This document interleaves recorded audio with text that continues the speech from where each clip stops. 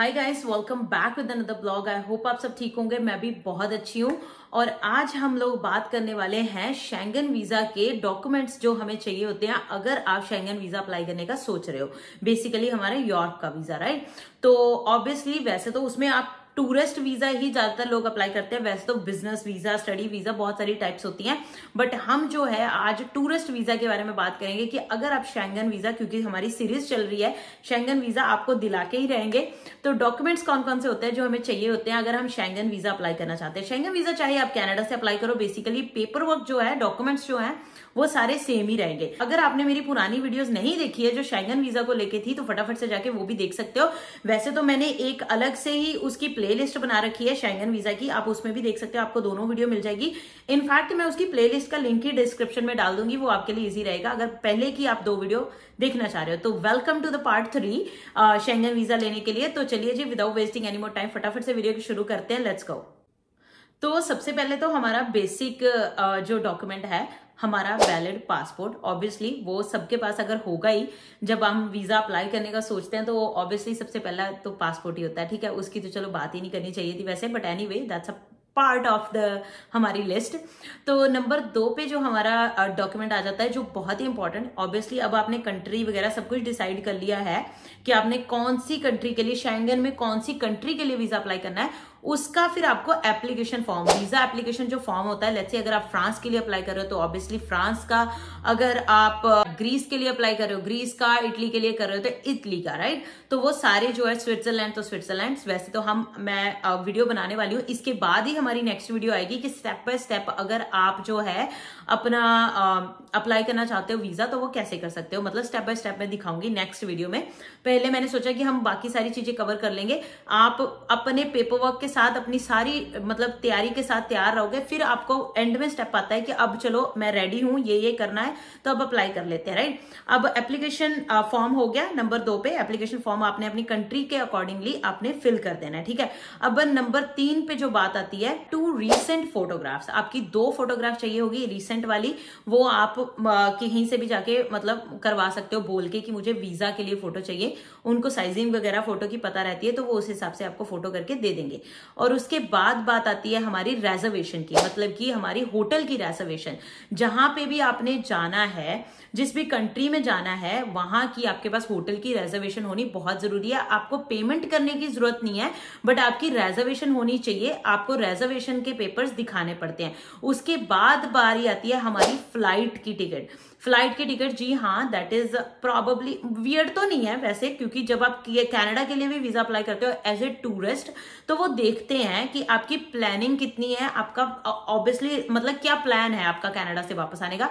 तो डेफिनेटली आपके पास round trip की ही टिकट होनी चाहिए, ठीक है? राउंड ट्रिप की टिकट अगर तो आप एक ही कंट्री में जा रहे हो, मान लो आप इटली इटली जा रहे हो और इटली से वापस आ जाओगे तो फिर ऑब्वियसली इटली की go and one way and two way मतलब राउंड ट्रिप टिकट होनी चाहिए। अगर मान लो आप इटली जा रहे हो पहले, फिर उसके बाद आपने दो चार कंट्रियाँ और घूमनी है, यानी कि ग्रीस भी घूमना है, फ्रांस भी घूमना है, इधर उधर सब घूमना है तो ऑब्वियसली आप सोच रहे होंगे जो आपकी लास्ट डेस्टिनेशन कंट्री होगी, आप वहीं से वापसी की फ़्लाइट लोगे। तो डेस्टिनेशन मतलब एंट्री आपकी होगी इटली में और लास्ट जो कंट्री होगी, वहाँ से आपका आउट होगा राइट तो आपको जो आपकी आइटनरी है, उस पर हम आएँगे एंड पे। उस पर आपको पूरा प्लान इसी हिसाब से लिखना पड़ेगा, तभी आपकी वो जो टिकट है, उस हिसाब से ही होनी चाहिए। मतलब टू गो जो आपकी आइटनरी में आपने लिखा होगा कि मैंने यहाँ से यहाँ यहाँ से यहाँ जाना है राइट उसके अकॉर्डिंग ही आपको टिकट्स बुक करनी है। वो मैच करना चाहिए सब। आइटनरी के बारे में हम बाद में बात करते हैं। तो ये था हमारा फ़्लाइट का टिकट बेसिकली आपको राउंड ट्रिप की टिकट चाहिए, जहाँ से भी जा रहे हो, जो भी प्लान है, उस हिसाब से, ठीक है? और बहुत और बहुत ही important document insurance travel insurance जी हाँ जब आप यूरोप का वीज़ा लेते हो, यानी कि आप शेंगन वीज़ा लेते हो तो उन्होंने ये अपनी बहुत ही इंपॉर्टेंट जो है रिक्वायरमेंट रखी है, जो कि ट्रेवल इंश्योरेंस की, यानी कि आपको ऑन योर ट्रिप कुछ भी हो जाता है तो एटलीस्ट आप वहाँ पे कवर्ड हो, आपका इलाज हो पाए। इसीलिए उसमें थर्टी थाउज़ेंड यूरो की आपकी कवरेज होनी चाहिए। ये आप चाहे लिख लो, चाहे जैसे मर्ज़ी कर लो थर्टी थाउज़ेंड की आपकी कवरेज होनी चाहिए। वो आपको पता करना पड़ेगा ट्रेवल किसी इंश्योरेंस एजेंट से कि आपकी ट्रेवल इंश्योरेंस अगर आप करवाना चाहते हो to cover thirty thousand euros मतलब कवरेज थर्टी थाउज़ेंड की, ठीक है? तो वो आपको बता देंगे कि आपका कितने की इंश्योरेंस पड़ेगी depending on how long you are going मतलब कितने टाइम के लिए आप जा रहे हो how long you can stay there how long you in stay in particular country मतलब इटली या दुबई बोल रही हूँ। ग्रीस मेरा दुबई जाने का दिल है ना इसलिए मेरे मुँह से दुबई निकलता रहता है हमेशा से। तो आ, उसी वजह से उसके अकॉर्डिंग ही आपको प्लान अपना जो ट्रिप है तो वो कर लेना है ठीक है? ये सारे डॉक्यूमेंट हो गए। उसके बाद हमारी आ जाती है एम्प्लॉयमेंट की राइट एम्प्लॉयमेंट स्टेटस क्या है आपका? अगर तो आप स्टिल जॉब कर रहे हो, कहीं पे भी हो जॉब कर रहे हो तो आपको जॉब लेटर और नो ऑब्जेक्शन लेटर वगैरह जो है अपने एम्प्लॉयर से लेनी पड़ेगी कि आपके जो आपका एम्प्लॉयर है, उसको कोई ऑब्जेक्शन नहीं है अगर आप यूरोप जाके घूम के आना चाहते हो, ठीक है? वो आपको मतलब छुट्टी दे देगा या दे देगी जो भी है तो वो बहुत इंपॉर्टेंट लेटर है, वो आपको चाहिए ही चाहिए होगी, ठीक है? अगर आप रिटायर्ड हो तो आपकी रिटायरमेंट लेटर चल जाएगी, उसमें कोई वो बड़ी बात नहीं है। उसके बाद ऑब्वियसली अगर आप जॉब करते हो और अब अगर आप घूमने जा रहे हो तो बैंक का स्टेटमेंट तो मस्ट है राइट right? पैसे तो देखने ही है उन्होंने कि आपके पास पैसे है भी या नहीं राइट right? तो वो कितने हैं, क्या प्रोसेस है, वो सारी चीज़ें। Financial statement three to six months की आप लगा सकते हो। फाइनेंशियल स्टेटमेंट आपको चाहिए। थ्री टू सिक्स मंथ जितनी ज़्यादा रहेगी, उतना ज़्यादा अच्छा रहेगा। सिक्स मंथ की स्टेटमेंट लगा दो तो वो आपके लिए सही रहता है। सिक्स मंथ की स्टेटमेंट लगा दो साथ में। तो वो वो हो गया आपका जॉब लेटर होगी पेपर वर्क उसका हो गया और ट्रेवल इंश्योरेंस होगी टिकट होगी एंड ऑल दैट वो सब कुछ हो गया। तो अब लास्ट में बारी आती है आइटनरी की। आइटनरी बेसिकली आपका सारा ट्रिप मतलब कि एक लेटर ऑफ़ एक्सप्लेनेशन कह सकते हैं आइटनरी को। कि जिसमें आप उनको सब बताओगे कि यूरोप, क्योंकि वीज़ा आप किसी भी कंट्री का, क्योंकि ये शेंगन में आती है सारी कंट्रीज़ राइट तो शेंगन में आप किसी भी कंट्री का वीज़ा अप्लाई करो, आपको मिलता है शेंगन वीज़ा ही है।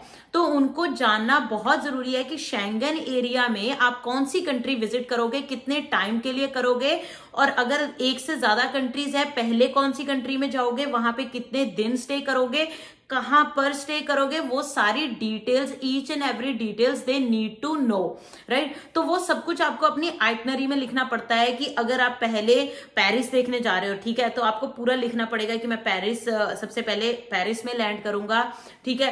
वहाँ के एयरपोर्ट के बारे में, वहाँ पे जिस भी होटल में आपने स्टे करना है, जहाँ आपने एयरबीएनबी में स्टे करना है तो वो सारी चीज़ें आपको मेंशन करनी पड़ेगी। तो उसके बाद मेरी इतनी तारीख को यहाँ से वहाँ की फ़्लाइट है, जहाँ भी, जो भी प्लान है, उसके अकॉर्डिंग आपने लिखना है। बेसिकली सच लिखोगे तो बहुत ज़्यादा चांसेस रहते हैं आपके वीज़ा मिलने के।